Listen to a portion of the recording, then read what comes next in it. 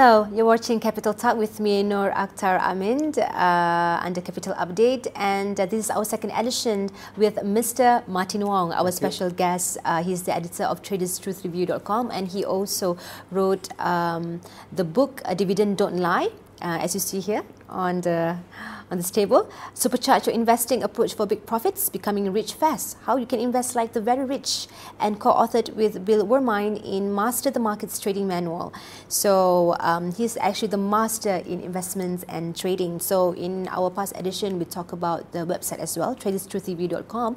So now um, you have also given. Um, some tips on um, investing. So Yes. um, during this edition, as we promised to our viewers, um, what and when is the perfect timing given our current uh, outlook of the market? Now, timing again, it's a very sensitive. If you look at in which school of thoughts have you come to, if you're looking from a fundamental investing, they will say any time is a good time, right? But if you look at from a technical side, which uh, my book has focused, it's that you always want to buy when there is panic. You know, Warren Buffett always say you want to be buying when there's blood in the market, and there's a lot of truth in those words. The reason why is uh, people always say, you know, you cannot time the market, and a lot of these people Mm. are basically academicians. They do a lot of research, and that's why Mm. they say it, it can't.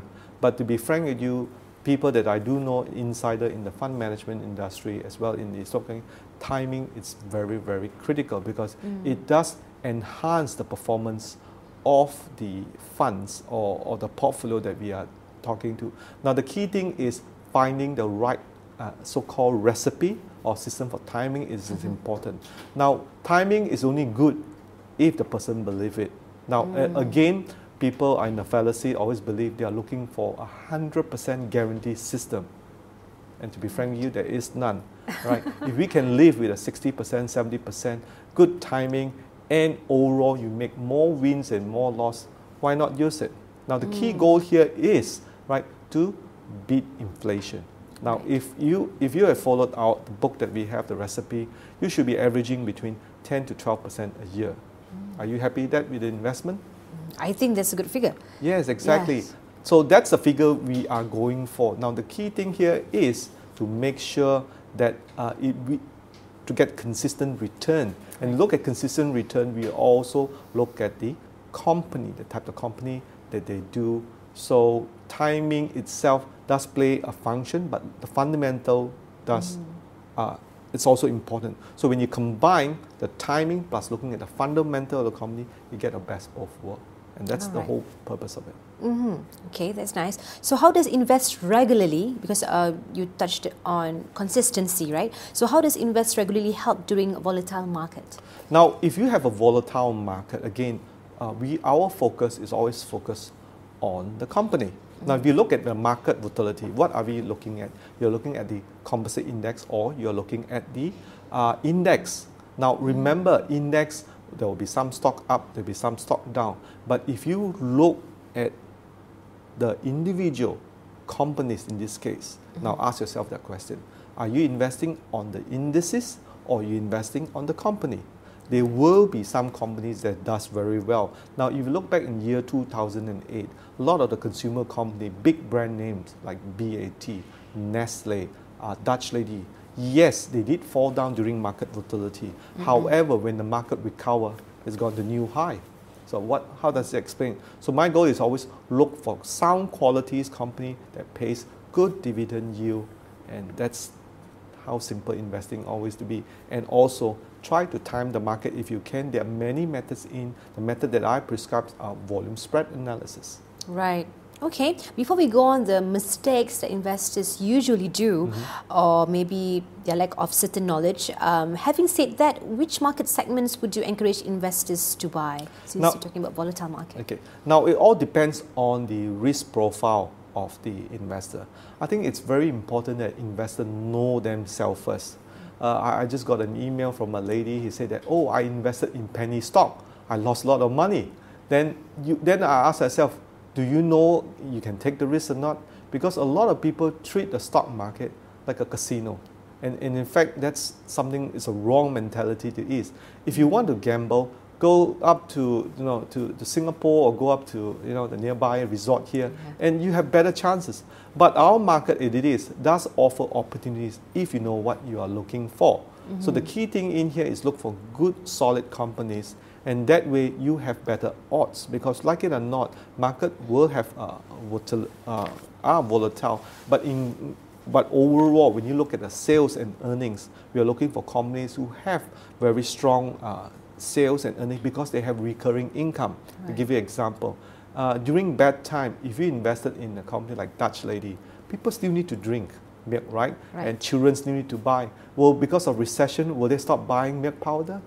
No, no, no really. So they'll buy. So and also on top of this, companies like this are able to hedge against uh, inflation because when the prices of milk powder go, go up, what do they do? They increase the price of their retail products. So that actually maintains the margin of the company, which in turn give better performance in, in stock. Okay, Mr. Martin, so are you saying that um, when, when, when we're going to talk about encouraging investors to buy in sectors such as retail? Yes, our consumer retail, which mm. is to me, that is essential items that you need, uh, things that you need to eat, things that you need to uh, not luxurious item you need to drink those kind of like for drinking beverage company like F&N but mm. again you always have to look at the whether uh, it is uh, well priced or not then mm. we are mm. looking what we call a margin of safety right. which is very important so at least uh, when we buy into a company we are buying it when there is a, a below fair price of the company right Okay, so um, how about industrial markets then, such as commodities or plantations? Now, if you're buying into commodities and plantation, mm. I think it's also a good buy. Uh, mm. Don't forget that uh, Malaysia is being the second producer in commodity. We should have some exposure of your portfolio in there. Now, like it or not, if you look in terms of uh, China population and India population, especially now with the Hari Raya and also coming the Diwali, people need to do a lot of cooking now, organic right. growth in terms of world population, we're talking about 2%. So there will be still people consuming uh, uh, so-called uh, crude palm oil. Although the price rises. Although the price rises, they have to. There, there's yeah. not much alternative in there compared to uh, what we have soya bean. So uh, again, look at each company that's involved in plantation stock. Some may have overrun and some do offer opportunity. So investors need to do their own homework. That is why I always stress that it's always good to know some education and not leave entirely to your advisor or whatever person you talk to. Right.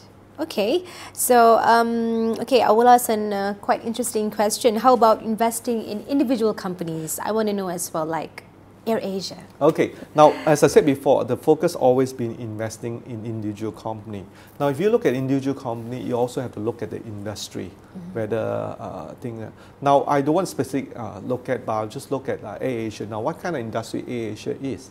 Mm-hmm. Is in the airline industry, right? So right. in the airline industry, there are a lot of factors goes into it. What happens if there's a war?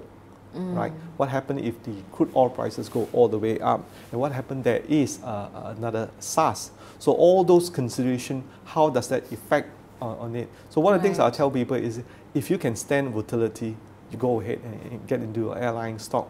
And like it or not, airline stocks these days, there are a lot of competition is coming up. There yeah. are budget air, there are luxury air, there are also media segment. And now we have new airports coming up. Yes, new airports coming up. But then again, when you have a little thing like, like a terrorist attack or touch wood, maybe oh. there's none, right? People are scared to travel. And remember, all these uh, companies, they have bought the aircraft, they all are financed heavily by uh, leverage by debts. So imagine if anything of this happened, the planes had to sit on the airport. Someone still need to service the interest of this this one, and they can't fly them. You still need to pay the, the pilot. So have investors need to think about all those. So those are important consideration. And remember another factor: even if it's flying at a full uh, factor load, most uh, airlines I believe they're flying mm-hmm. around 75% uh, loading factor. Now the question is, if this loading factor is not improved, because then that's going to affect their profit margin wise. So mm. remember, every flight that flies off, if one seat is not filled, that's lost revenue forever. Yes. So again, I, I'm always favorable to uh, very, very boring uh, consumer stock, and that's how I made my money for my, uh, for my clients and all those people who buy more. And I'm happy. And now at the end of the day, if you want to look for thrill, look it for elsewhere. Don't look it in the stock market. The, you know, but the, the thing is, the truth is, people look for thrill. Uh, they want to make the super triple digit or even four digit return from a stock market. To me, that's fallacy. That's wishful thinking. If you do, you know, you're one of the unique one. Uh, uh, and you look at the, the greatest investor in the world, Mr. Warren Buffett. Now, he's been very consistent with his policy mm. investing, focusing on real uh, value company. And over the average, uh, the last 30 years, he's doing like 26.7% return per annum. Wow. And that's very good. And look at where he is now. He's one of either the second richest man in the world. Yeah. Now, all we got to do is maybe just learn a little bit from you know, Mr. Warren Buffett and together use volume spread analysis, to do our timing. You do much better than a lot of the funds you know, in Malaysia. That's my message to all. All right. Thank you, Mr. Martin Wong. What a very um, useful session we have here in our second edition with him, uh, the editor of TradersTruthRevealed.com. Maybe you should actually take a look and get addicted to it. So, Mr. Martin Wong, thank, uh, thank you for staying with us, and uh, you too. So, stay with Capital Talk in our next edition. Have a nice trading day. Thank you.